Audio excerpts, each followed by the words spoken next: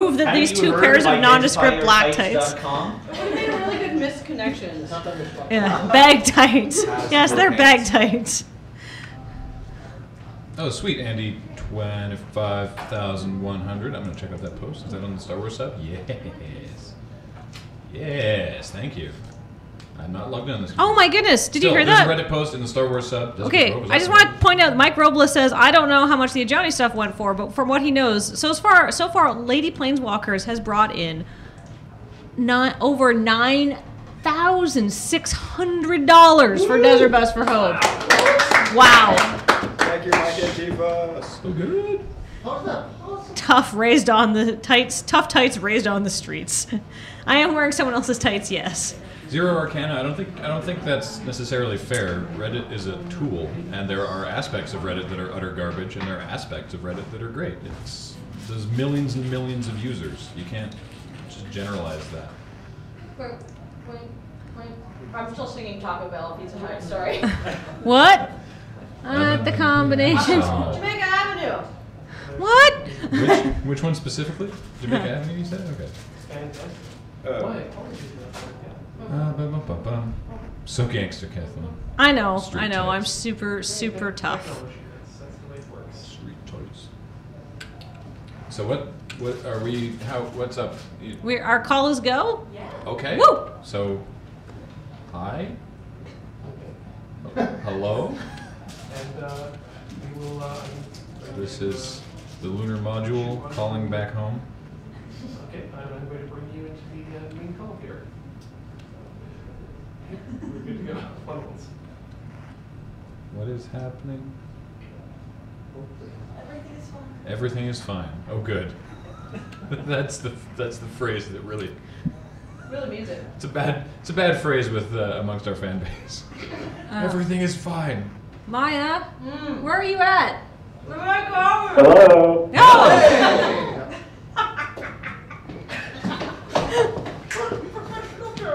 To to whom to whom are we speaking? Ted Robbins. Hi, how's it going? I'm Graham. Hi, Graham. But wait, this is different than what I'm seeing on the stream. Oh, do they have? Uh, hey, Ian, do they have the the Skype camera? What are they looking at? I, I'm, I'm just looking. Oh, it's delayed. So guess Yeah, what? yeah, I'm yeah. gonna com- turn down. I'm gonna turn down, um, Turn or else I'm gonna end up going insane. Yes, if you could please turn down your radio so we don't get feedback. And all right. So this is for Yeah, week. exactly. So this show is weekend edition, correct? Uh, so far as I know, it hasn't been placed on the show, so let's see if we can get it on sooner. You know? Oh, okay, cool. I, I'm just Um, trying to tell I- our I- viewers. I'm- yeah, I'm going to try and edit. Um, I'm going to try and file it tomorrow. So um, you never know. Oh, awesome. So first of all, I'm a So big- we're- wait. I want to talk. Sorry, uh, I'm a really big NPR fan, so I'm really excited. Yay! Oh, good. Well, I've become a really big uh, Desert Bus fan in the last like I don't know eight hours. Um, Thank you. Someone in our chat room just said, "Woo, Ted Robbins." Um, so who, shall we? So who's going to talk? It's going to be either Kathleen or Graham. Yeah. they know our names. Okay. Well, he- he We're going to do. he said he's So we're going to do for the some last eight very hours. basic stuff here. Okay. Okay. Um, is there anything you wanted to say first, or? Uh, um, yes. Uh, uh, one, I have to give NPR. You guys, I'm gonna give you guys big props because last year CBC, uh, which is Canada's NPR, basically called him, but they did not want to be on the stream. So you guys are cooler than that. And also, can you please introduce me to Bob Boilen and Robin Hilton? Uh, I could send an email, but you could do that. I know, but I can I feel that you have more pull than I do. I can try. I can try. Um, uh, oh well, I think- I like CBC. I'm a big CBC fan, um, despite the current uh, uh, uh, controversy. Um, Which is not not for prime time. Yeah. Yeah. So so he, you know so I'm looking at the stream and I'm I'm you know my what my my you know like here's my my first thought is uh, y- y- gaming is a you know gazillion dollar industry. There's even a there's even a market for um, nostalgia gaming. But you know, um, who would pay to play a game this? To not only not play, but watch somebody play a game this bad. Um, that's kind of the way I'm looking at this. So, could you describe Desert Bus for starters? Well, okay. So the game It's Desert radio. Yeah. So the game Desert Bus was never actually officially released. It was created by Penn and Teller uh, as part of a compilation game they were putting together for the Sega CD back in the dark days of the Sega CD. Um, and it was originally created as a response to the criticisms that violent video games make people violent, and Penn and Teller didn't believe that, and so they were basically skewering that notion by saying, "All right, well, if a shooting game can train someone to shoot, then surely a bus driving game can train someone to be a better bus driver." And so in in the game, you drive a bus uh, from Tucson, Arizona to Las Vegas, Nevada at 45 miles an hour in real time, and so it takes eight hours. Um, it's a perfectly straight road. There is no traffic. There is nothing to do. It is interminably dull. You can even see in the rearview mirror of the bus that the bus is empty. It is a waste of your time. But the bus has a list to the right, so you can't just like tape the controller down. You have to hold the accelerator the whole time and continually correct to the left, or your bus will drive off the road and you will fail. And you cannot pause. If you try to pause, all it does is honk the horn. And uh, the, the the reason that we play this is um, because we're uh, it's it it keeps us basically trapped in this room. There's no end to the game. It keeps going forever, and uh, we raise we try to raise money for Child's Play, which itself was a charity that uh, it it, it's, uh, it uh, supports children's hospitals and now domestic violence shelters all over the world.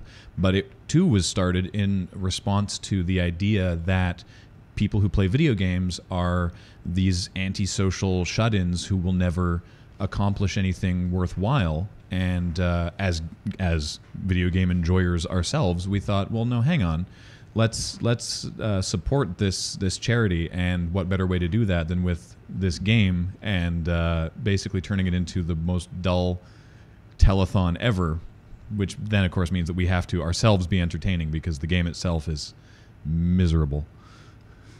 Yeah, you know, you realize none of those things you said about gamers is mutually um, exclusive to any doing any of this either. Um, so, Mm-hmm. um, but I so let me say I have made that drive, the actual drive, and this game is only s- very, very slightly more boring. Um, yeah, the the chat room just uh, informed us that you're, according to your bio, you are based in Tucson. Yeah, and I'll tell you, it is except for going, except for having to slow down when you go through Phoenix. Uh, it's it's pretty much um, well. There's some cactus, you know, but otherwise, yeah, Yeah. it's it's not it's not that far off. Um, I, I, one question: Is this a is this a is it a minivan or is it a like a school bus? Uh, in the game, I believe the bus is indeed a. Um, uh, It's like a Greyhound-esque it- Yeah, it's a. Greyhound coach. Yeah. Yeah, that's what Okay. it looks like on the So- logo. So how? So Kathleen, you wait a second. Now it's a you crashed twice today. Yeah, I well, um, there are some. I may have been distracted. Uh, my excuse is that uh, people keep telling me I look like Tina Fey, so my excuse is now that uh, international star of uh, small and large screens, Tina Fey, came by, drove the bus, and then she crashed it because she is not good at driving. So oh, we're had to take blaming Tina. Fey now. Well, people keep saying, telling me I look like Tina Fey, so I may as well get something out of it. Uh, fair enough. Uh, but yeah, I crashed twice due to inattentiveness. Well, I, how can you? But I, I'm looking at your bio online. It's like you. This is you'd only crashed like once before, right? Yeah, no, In all this the is- years. This is a terrible year for me. I'm really bringing down my average. Uh, I'm probably going to get dropped from the team after this. oh, hardly. Coach is going to chew me Does out. it ma- No, go ahead. Sorry. oh, nothing.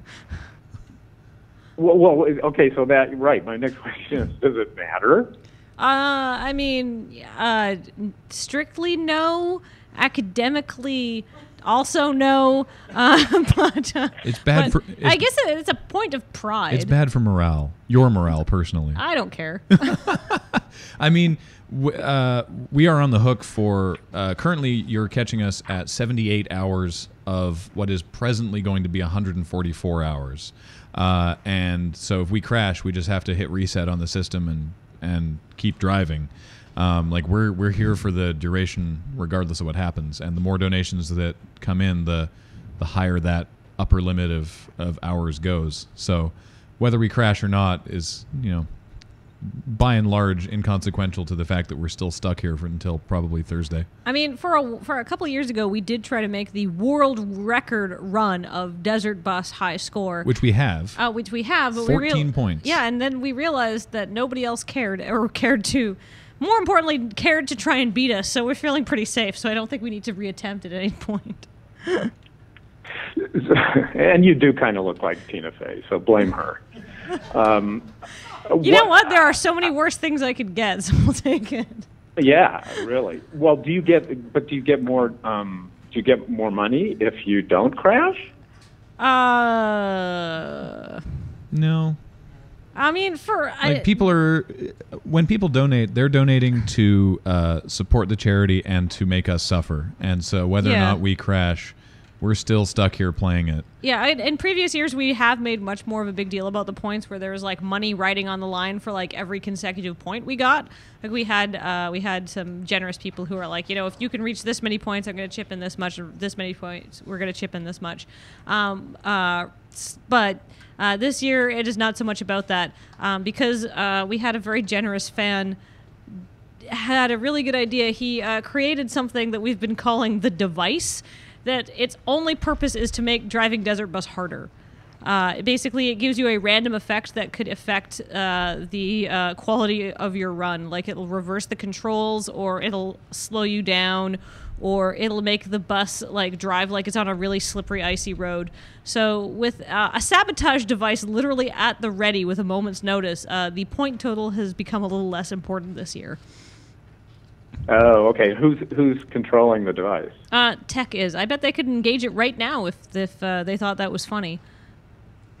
Uh, well, I can, I can do that. I'll, I, we don't we don't need to um, tinker with real. Oh wait, it's not reality. So No. never mind. Go go for it. But you do have your um, you do have your phone sitting there by you. I see. Are you um, you're not texting and driving, are you? Uh, pff, I'm just I'm distracted enough just by having other people in the room with me. Texting and driving would be a disaster. That is- that is also it's- illegal in It's this illegal province. in British Columbia, so we can't. Yeah. So how British? How did you end up? How did this happen? I mean, give me the background of that. You're in. You're in. Are you in Victoria? Yes, Victoria, BC. Okay. So, so how did you? I how did this whole thing end up? You know, in Victoria, BC. Well, we we started as a sketch comedy troupe, um, and we still uh, the the majority of the organizing committee uh, is connected to Loading Ready Run, which is a uh, online comedy production house, basically. Um, we do uh, weekly web series, some about gaming, just some generally sort of general interest comedy stuff, and. Uh, we sort of fell backwards into this because uh, James, one member of, of Loading Ready Run, uh, felt that we should really do something to support Child's Play, and around the same time, uh, another member, um, uh, another member, Paul, found the uh, the ROM for Desert Bus online and thought we should do something you know something funny with with Desert Bus like a marathon play session of it, and then we thought, oh well, let's just combine those, and we just got a laptop and a camera in our living room, and we literally rubber banded a wide angle lens to it and hit you know hit broadcast one year eight years ago, and with a goal of five thousand dollars, which was which seemed like an insane amount to raise, and then the the first year we. Uh, we raised twenty two thousand dollars, and then we are sort of like, well, I guess we're doing this every year. Yeah. It, well, actually, that was so. How did you? So somebody just stumbled on this. No, no connection with Penn and Teller. Just you stumbled on the game. No, what happened? Uh, not no connection to us. Um, the because this game was never actually released. Uh, a journalist by the name of Frank Cifaldi, uh, who is sort of a video game historian who collects a lot of sort of like artifacts of like video game eras gone by, like old ROMs and games that never got released in promotional materials. Um, that you can find on his website, by the way. Mm-hmm. This is plug. Technically as the Huh. chat as the chat room is pointing out to me as I say this, it's technically an ISO because it was a CD Yeah. game. Yeah. And the Sega CD was released before people had in-home CD burner, so there's no copy protection. So you can Mm-hmm. download the ISO, burn it to a disk, put it in the Sega CD, and it runs. Um, but uh, Frank Cifaldi found Desert Bus, put it online, and then Paul found that and uh, thought, well, that could be funny to play because it's awful. Yeah. Wow. So, what is the experience like of playing it? Oh, it's awful.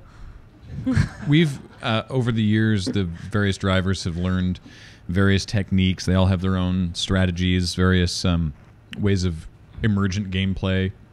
Like they'll make the they'll make the like a certain part of the windshield wipers try to weave back and forth between the yellow lines on the road as a way to keep them I- interested. It's it's it's incredibly dull. Uh, What do you do, Kathleen?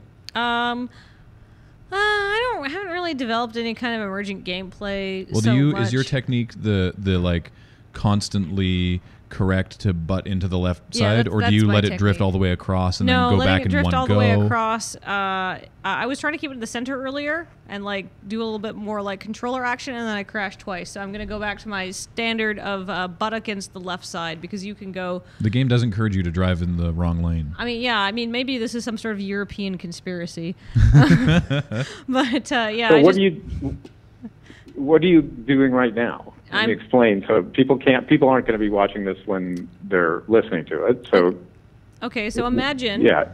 Imagine you are in the front seat of a bus that is uh, that is left-hand drive, and you are driving down a long, featureless stretch of highway. Uh, occasionally, you pass a bus stop. There is no one there. Occasionally, you check your rearview mirror. There is no one there. And you drive ever onwards. There is no traffic.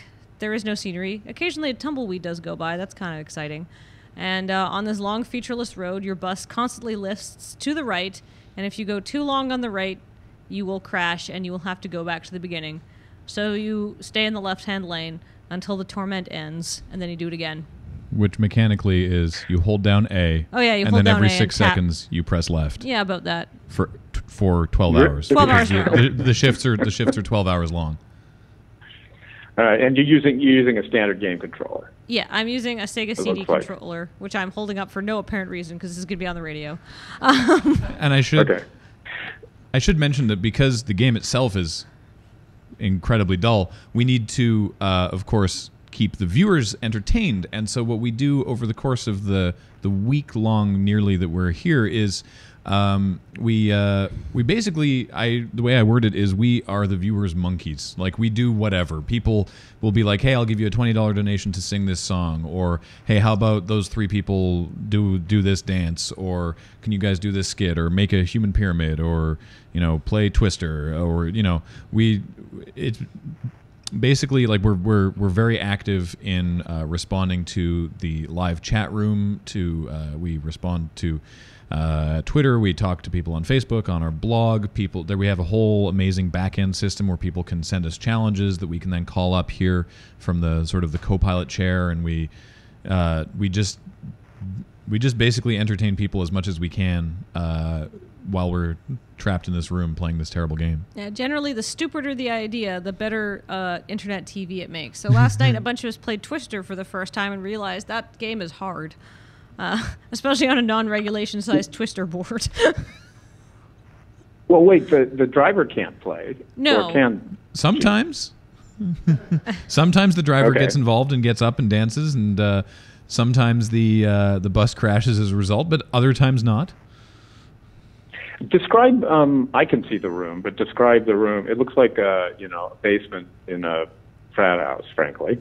Oh. Well, it used to be actually part of uh, that. That was more accurate uh, last year when, for the last several years, we've been broadcasting out of our office um, uh, here in Victoria. But this year, we actually had a, uh, a donation of space from VIATEC, which is the uh, um, sort of Victoria technology general sort of advocacy. Um, uh, group that encourages tech companies to uh, to uh, form. to form in Victoria because I'm gonna be totally biased about it, but Victoria's a beautiful place, and if what you're doing exists on the internet, why not live in Victoria while you do it? That's why we like it here. Ah, Um, quality of life. Yeah. Um, but uh, Um, VIATEC is an accelerator, and they they just bought this building and renovated it, and um, they are graciously lending us their conference room for about two weeks to set up and broadcast and strike this event. And it is, in fact, in a basement. It is on the back ground floor of their building downtown. but we brought, as as you can see if you tune in, we brought all the the, The crummy couches and the, and the carpet and all the all the costumes and stuff. We've we've Okay. we've brought we've brought Desert Bus to what would otherwise have been a a, a really a really nice conference room. Yeah, really classy looking space, and we've hung up a bunch of crap everywhere. When we when we when we told our viewers when we told our viewers we were we were moving venues and uh, linked them to some pictures of how it looked before we got in here. Some people were like, "Oh, okay, so this is going to be Desert Bus filing quarterly reports." Uh, no, it still looks like a crummy basement. We're happy to report. There's duct tape on the And, carpet. and, and who are those lovely people behind you? The uh, the lovely people behind us are just just some of our uh, numerous amazing volunteers. Yeah, we have this is this is a huge event because Yeah. we raise so much money and we sort of staff up so quickly and do so much work. We have a team of I counted this year. It's uh, 47 volunteers, including everybody who's on the organizing committee and everybody who's just like you know doing everything from shipping out the prizes to picking up after all of the other 46 people that are here, right? Um, and we have people come from all over the world. We have a huge contingent of Americans who come up, and we even have somebody who's here from Denmark this year. He flew halfway across the world to come and do this for a week. Wow. And who? How many? Um, oh, how many donors, followers, fans do you think you have, roughly? Um, we've been sitting this year. Viewership has been really has been really good. We've been sitting at I would say a constant average of around thirty two hundred people. And then yeah, and then it And by goes const- up for like more big things Yeah. and slightly down in the middle of the night. But by so yeah. constant average, what I mean is when some people go to sleep in, you know, when people in North America go to sleep, then the Europeans wake up. Like there's people tuning in and dropping off all the time. So there's there's certainly thousands of people uh, watching and uh, and many thousands of of donors uh, supporting this this great charity. And as the as the chat is is uh, uh, really vehemently demanding that I that I uh, tell you, this morning in the early hours, we broke over the course of the eight years a lifetime donation total of over two million dollars. Which gives me a great lead for the story. I think that's terrific. Um, uh, what I don't even know what else. You know, the, you said the chat, so you've got. To, I can see that. Are we talking? Is the chat something different than the social feed on the right hand side of the page? The page. Yeah, if you go to the website, there's a button to um, to join the chat, or if you go to twitch.tv/slash Desert there's a there's an inbuilt chat room there, and we have that up on a giant monitor here, so that everyone um, can can talk to us basically, and we can call people out specifically. Uh, for example, Gr Griffin three just said, "Excellent segue, Graham." so thank you and you know we're always calling people out and uh, and and you know saying hey that's you know that's cool when we're talking back and forth and and it's uh, the, the chat is now saying hi npr everyone in the chat is saying hello to you um, Alexander Ditto is like, I love NPR. yeah so uh, hi american yeah, cbc and I must, I must say, you're you're um, sort of. You, you don't seem to have many trolls. There, everybody seems to be really nice and polite. we have an extremely awesome moderation team. Yeah, we. I mean, we. Uh, there's. I think there's two reasons for that. One is that we. Yeah, as Kathleen says, we have an extremely solid chat moderation team who does not stand for that, and also we are really committed to trying to foster the best kind of online community we can, and we've been very, very lucky in that. Uh, you know, by being the kind of nice community that we want to see, that we have attracted people who want to be a part of that kind of community, and so we just we we typically don't don't get bad people showing up, which is really great. Hey, would you just do me a favor, Kathleen, and describe the chair you're sitting in? Uh, I am sitting in. Oh, I will describe it in exacting detail for the radio community. I am sitting in uh, a chair that would have last been seen available new to purchase in approximately 1994. It is a large, overstuffed burgundy leather lazy boy. Uh, it doesn't recline though. It's just one of those really large over chair, like large sitting chairs that somebody thought was a good idea at some point. It is so it, it is like super painfully out of style. Uh, but it hasn't quite come around y- again like Normcore has. Uh, but it is comfortable. But it is, uh, however, severely broken on the inside from years of abuse and desert busing. You and you are wearing either bunny ears or uh, I don't know what I don't I don't want to presume. I'm wearing bunny ears. Uh, which is Okay. probably the All right. I, I think bunny ears is the baseline in terms of strange things that people will be found wearing over the course of Oh course yeah, of I have the best anglerfish costume I've been wearing all weekend. we have people dressing up like Skeletor. We've got a variety of silly hats that people wear. Uh, we've got a hat that we yeah we have we have a hat that is an anglerfish and also an, a complete anglerfish costume because they're weird looking. We've got caveman outfits. We've got I am now having placed on my head a hat that looks like a cooked turkey. Um, this is of no benefit to the listeners uh, of your show, but to our viewers, this is uh, this is this is this is what they what they tuned in to see. There it comes. yep. Isn't All right, she magnificent? And all of this is uh, what what do you guys do when you're not doing Desert Bus? Well, uh, like I said, when we're not doing Desert Bus, I mean, there's 47 volunteers, so everyone has their own their own stuff going on. But a big a big chunk of the organizing committee are uh, members of Loading Ready Run, which is a online uh, comedy foundry, I guess. We uh, we do a bunch of different weekly series. Um, uh, sort of all comedy related. We do one that's sort of like a weekend update, but for news from the video game, uh, the video game industry. We do um, uh, a series for Wizards of the Coast about Magic the Gathering. We do comedy sketches. We do uh, podcasts. We have a D and D campaign podcast on at the moment. Um, we do we do a lot of different stuff, um, but that's where that's that's what most of us are involved in. But there's uh, there's Cool. Links to the whole team on the on desertbus.org so you can you can find out what everyone does. And right before we, la- I can feel that you're wrapping up. So I have to say, right before you go, uh, if uh, this airs after Desert Bus, or while even while Desert Bus is still going on, if somebody feels like they've missed and want to check out, excuse me, some of our highlights, uh, we have a video strike team that takes all of the best stuff and puts it on our YouTube channel, which is youtube.com slash desertbus. Desert Bus for Hope. Desert Bus for Hope. And so the Video Strike team is a bunch of very dedicated viewers with a very large spreadsheet, and uh, they index and record all of the uh, greatest hits of Desert Bus and put that online. So if you want to direct people to our YouTube channel, uh, then they can see some of the weirdness that happened this year. Okay. Last question that I can think of is, what do you feel like when you're after you're done with a? Tw- it's a 12-hour shift, right? Mm-hmm. How Well- do you How do you feel when you're done? I don't remember it because I just enter a fugue state and driving happens, and then I usually say something offensive.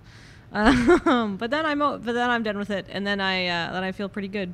I feel there's typically a big donation push at the end of each driver's shift. So I I generally feel like really like hugely energized and excited uh, for about half an hour, after which I immediately collapse and sleep.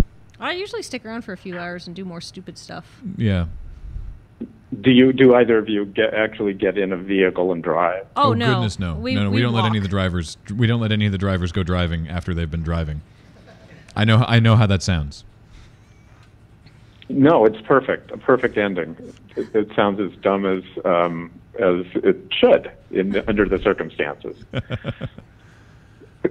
All right. Anything else you want to get across? Uh, I guess just for your reference, definitely check out desertbus.org. Um, and uh, if you're looking for images of of what's going on here, uh, you can check out photos.desertbus.org for some amazing pictures there. Uh, and definitely, uh, if you use those for anything, you want to credit Andrew Ferguson, who's our amazing Desert Bus photographer. And if you want to find out what the Loading Ready Run crew is up to uh, outside of Desert Bus times, you should check out loadingreadyrun.com or youtube.com slash loadingreadyrun. And I guess Cool. check out the at Desert Bus yeah. on No, Twitter. I'm. I'm. Well, I'm looking right now. There's a lot of stuff that's on just for today. Uh, from today, I mean. yeah. Um, I, I think the uh, well, just you know what the, all the stuff, the prizes, the challenges, all that stuff is pretty self-explanatory, um, except for some of the odd names you give, like a pig. What is it? A pig something? Oh, pig sweetener? Okay, I can actually explain that, but it's like such a long walk. So There's a Okay. term. There's a term that we use when we take one of our giveaways and we uh, we sweeten the pot, which is we call it sweetening the pig, because at uh, Desert Bus, I want to say four, uh, the people started making jokes about pigs. Um, and then it became sweetening the pig instead of sweetening the pot. And so now when we add a bonus prize to an existing giveaway, it's called a pig sweetener. And it's one of those things that you say it, and it's like, oh yeah, like we all use the term, and the the the viewers use the term, like, oh, we'll just throw throw a pig sweetener in there. And er, er- earlier this run, I was sitting back and thinking about that and going, out of context, that is a supremely weird thing to say. There's no frame of That's why I reference. asked. Yeah, there's no frame of reference for what a pig sweetener is, unless you know sort of the like the the etymology of the meme over the several years of Desert Bus. Yeah, we got memes Okay. on memes on memes in here. It's crazy. All right. So Kathleen, you get off your shift at, in five hours, right? Five blissful hours of this.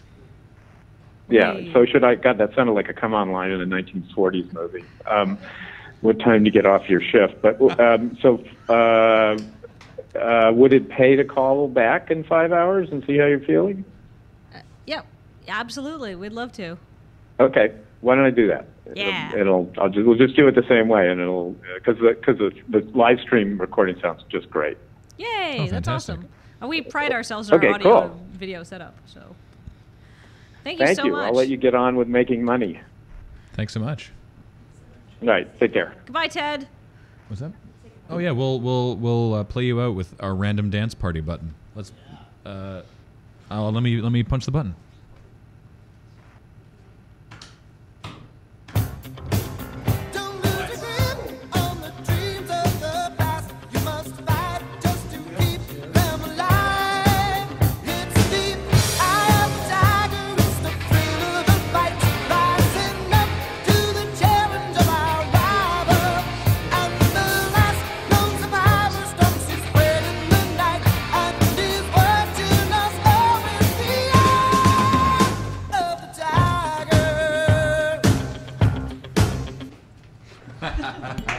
That was awesome. I noticed some people saying plug the charity. We did at the beginning of the interview. that was the first thing we talked about. We just don't talk about why we're doing it. No, we're just just for funsies. Just we're gonna make all this money and roll around in it, and then light it on fire, sink it in a barge. What else?